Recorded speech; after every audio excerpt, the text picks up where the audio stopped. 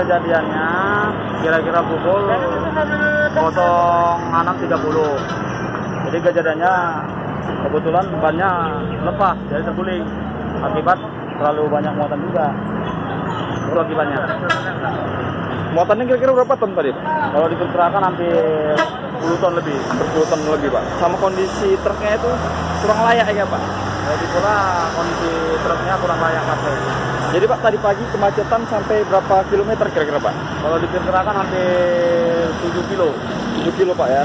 Berarti truk ini dievakuasi jam berapa tadi Pak? Truk yang terguling dievakuasi jam berapa tadi?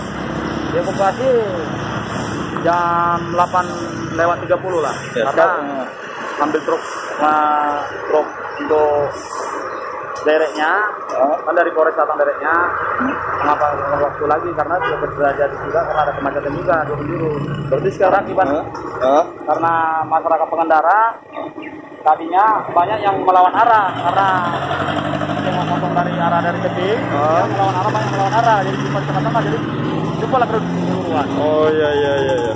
jadi karena ada selah masuk dari sini pun juga masuk juga sini jadi ketemu semua dari Oh semuanya. itu jadi macet Pak ya. Makanya terjadi macet Iya, iya. jadi mudah-mudahan sekarang udah kembali normal kembali Nah, itu yang kami sampaikan Iya, iya. Ini namanya proses evakuasi ya Pak ya? ya udah siap Udah berapa truk nih Pak yang ngangkatnya tadi Pak ulang? baru itu yang tadi pertama baru yang kedua Oh iya. Pak nama Pak? dengan Aibda Rikson Siombi Pak Aibda Rikson Siombing. Ya. Baik Pak, makasih Pak.